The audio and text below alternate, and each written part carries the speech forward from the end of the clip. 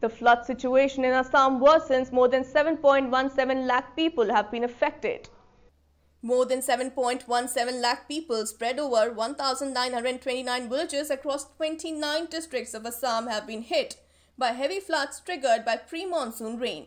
More than nine people have died. Meanwhile, Assam cabinet has decided to introduce an emergency flight service between Silchar and Guwahati at the rate of rupees 3000 to mitigate the communication crisis due to the floods and landslides in Dima Hasao and Barak Valley.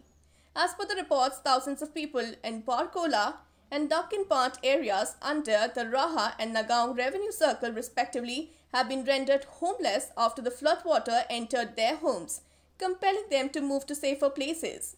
The water level of the river has already crossed its highest mark and thus inundated the new areas of the district. The water has also submerged several roads connecting Kampur area.